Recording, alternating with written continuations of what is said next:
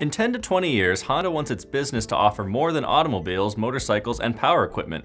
A part of its 2030 vision, the company from Tokyo is looking to the sky and to robots and sees these advancements being offered in the 2030s and 40s. The first is air taxis.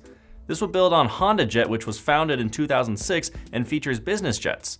Bloomberg reports that Honda hopes to commence flight tests on its air taxis in 2023.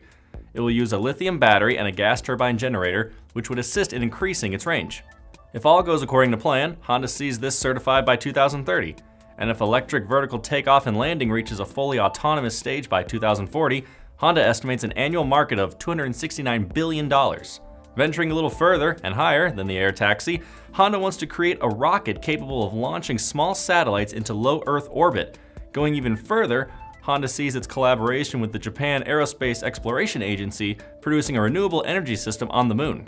Ideally, it would assist humans exploring the moon in finding frozen water. According to Honda, the system could take the hydrogen and oxygen from the water and use the elements for living quarters and fueling rockets. As for robots back on Earth, Honda is planning Avatar robots. These Honda Avatar robots, acting as remote surrogates, will be controlled by a paramedic to attend to injured persons.